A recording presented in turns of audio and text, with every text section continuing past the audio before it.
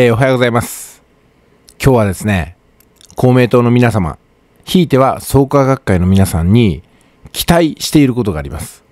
それは、この自民党のね、また出てきましたよ、この甘利さんって人ね。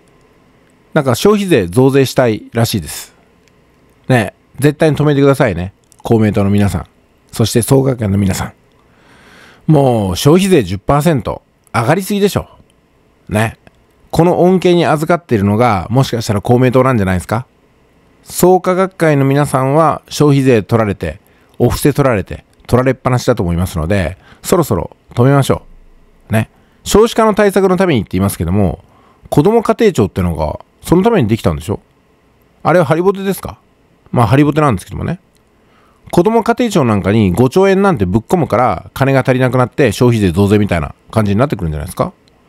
だから省庁に余計な人材を雇う金があるんだったらね、実際効果出てないわけだから、やめてしまえという話なんですよ。加藤愛子さんって役に立ってます？まあいらないでしょ、あれ。近所の弁当屋のおばちゃんができますよ、もっと優秀なやつを。何やってんだと。ね。公明党の皆さん、創価学会の皆さん、消費税は悪だ。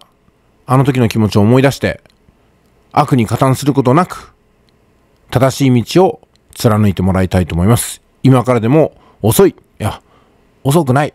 遅い。遅い。遅いけどまあ、やった方がいいでしょ。これは。うん。頼みますよ。創価学会の皆さん。それじゃあ。